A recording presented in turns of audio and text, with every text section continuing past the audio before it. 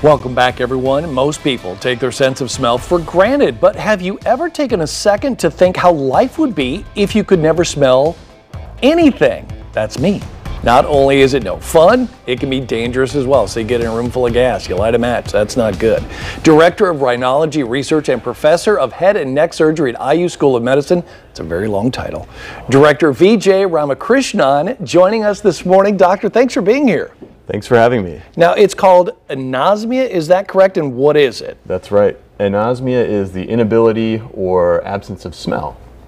And so basically, how many people does that affect? And I assume it is worse now since COVID happened, and so many people, at least either temporarily or maybe even permanently, can't smell now. That's right. Uh, it's more common than you think.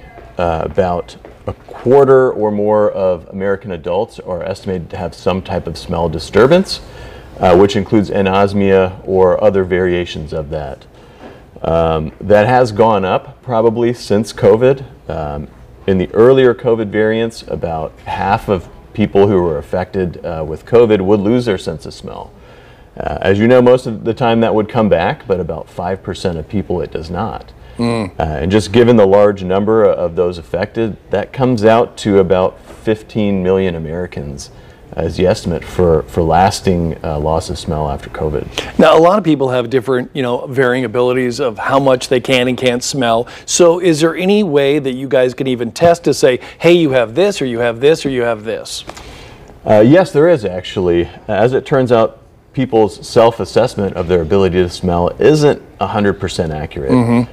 Uh, there are clinical tests. Uh, they're not super widely available. It used to be that only in specialized centers could you get that done.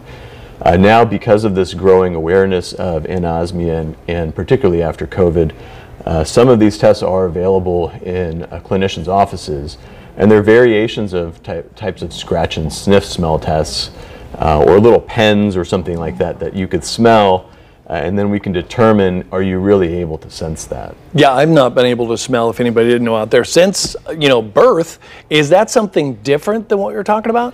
Uh, it is a little bit. Uh, by the true definition anosmia is just anyone who is unable to smell. Uh, there are many causes. Pre-covid the most common causes were chronic sinusitis nasal polyps other types of sinus infections usually viruses similar to covid uh, or head trauma uh, congenital anosmia or being born without the ability to smell and never developing it is fairly rare, but it is a known phenomenon. So is there anything that can be done? Uh, usually what we try to do is determine the cause uh, and attack the cause. So for instance, in chronic sinusitis or sinus infections, uh, if we're able to uh, remove the underlying offending agent, uh, usually people can restore their sense of smell at least to some degree. Now, if some serious damage has been done, that's not always the case. Okay. Well, I know we're about out of time, but I really wanted to give you a moment to talk about this. You guys are involved in some, uh, I'm not sure if it's groundbreaking research, but pretty amazing from what I've heard. Yeah, you know, a lot of research has been done uh, in olfaction or the sense of smell, ranging from very basic science research in flies and mouse. Uh, for us, we really care about humans. Right. Um, so we participated in multi-center collaborative studies trying to restore the sense of smell and understand how that happens, in particular in chronic sinusitis in patients with nasal polyps. And so we have a couple of clinical trials open for that. Uh, and we were recently awarded uh, a new grant with some collaborations uh, among neuroscientists at the University of Colorado uh, to study how uh, viruses and other types of offending agents can influence sense of smell and inflammation uh, that can subsequently go on to cause things like long COVID mm-hmm. or even dementia type disorders. And so ultimately attacking that type of inflammation will be useful to us all and may help us restore sense of smell in many people. All right, I may come and give you a little visit just to learn more about my situation. If you'd like to learn more about anosmia and possible treatments available, head to our website at fox59.com. Doctor, thanks for being here. We do appreciate it. Thank you, Scott. Not a problem. Lindy, over to you. Yeah, interesting. Thanks, guys. At 647 and